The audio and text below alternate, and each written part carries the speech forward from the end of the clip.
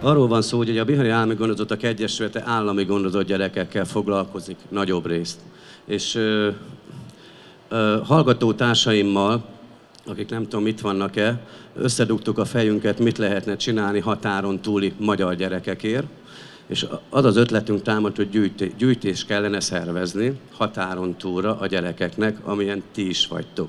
Ezek a gyerekek sajnos nagyon nehéz körülmények között élnek, ez Balog Barnabás barátom is majd alá fogja támasztani. Tehát a csoki gyűjtő akción is nagyon sok csokit vittünk ezeknek a gyerekeknek, és olyan történetet mondott nekem az igazgató asszony, hogy volt olyan kisgyerek, aki beosztotta egy hétre a táblacsokit, amit kapott tőlünk, és meg reklám, nem reklám, de nem volt márkás csoki. Tehát beosztotta egy hétre a táblacsokit, amit mi, ti küldtetek a gyerekeknek.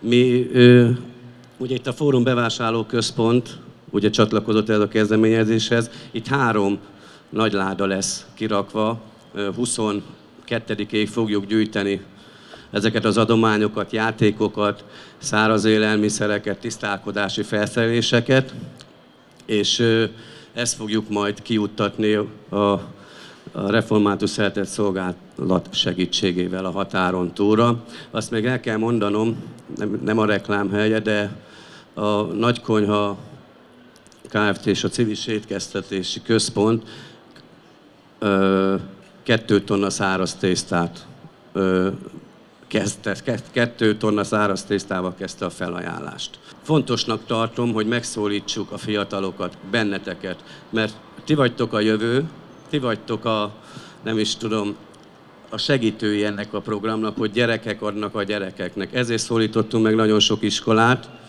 és ez is örülök neki, hogy ti itt vagytok, és amint látom, ti már hoztatok is magatokkal felajánlott adományt, élelmiszer, tisztasági csomagot, tehát tapsoljátok meg magatokat. Ügyesek vagytok, köszönjük szépen! Mivel én magam is Erdélyből származom, Erdélynek a Párciumi részéből, ahol most ezeket a adományokat és ajándékokat szeretnénk gyűjteni, így természetesen nagyon nagy szeretettel csatlakozom ehhez a kezdeményezéshez. Lajost és a, a szervezetét próbáljuk segíteni, amivel csak tudjuk, a baráti, a vállalkozói körrel, és azt gondolom, hogy egy ilyen sikeres egybeállásnak, hiszen akár az egyház, akár a, az intézmény a, a, a, és a cégek részéről egy olyan erős, markáns csapat állhat föl, ahol csak jókat tudunk együtt kitalálni és megvalósítani. Körülbelül olyan 47 éve töltöttem Erdélyben, és engem az hozott ide, meg az, hogy az Élesdi Árvaházat 22 évvel ezelőtt alapítottuk, akkor még ott dolgoztam, és én az olaj szerepét szeretném ebben betölteni, hogy minél jobban forogjanak itt a kerekek, és minél jobban tudjuk szervezni és átvinni ezeket az adományokat.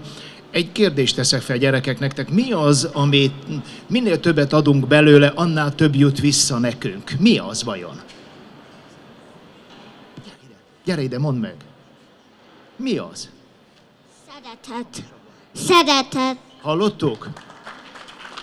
Hát mi csak azért vagyunk itt, mert határ nélkül szeretjük ezt az országot. Volt, aki szeretett, szerette feldarabolni, mi pedig abban szeretnénk segíteni az ott maradottaknak, hogy minél jobban érezzék magukat abban a közegben, amiben bizony sok mindent kell elszenvedniük, nem csak a más nemzetiségiektől, hanem a szegénységtől, a szükségektől.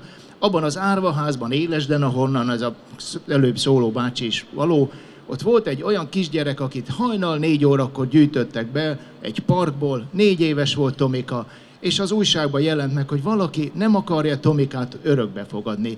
Tomi ennek az otthonnak a lakója volt, sajnos két éve elhunyt leukémiában, de ott még sokan vannak, akik várják a mi segítségünket. Azért fogunk mi össze, hogy nagyon sok sorstársan segítsünk Micskén, Élesden, Nagyváradon és sok más otthonban. Köszönöm a választ, úgyhogy minél nagyobb szeretettel fogjunk össze, hogy öleljük át ezeket a gyerekeket. Köszönöm.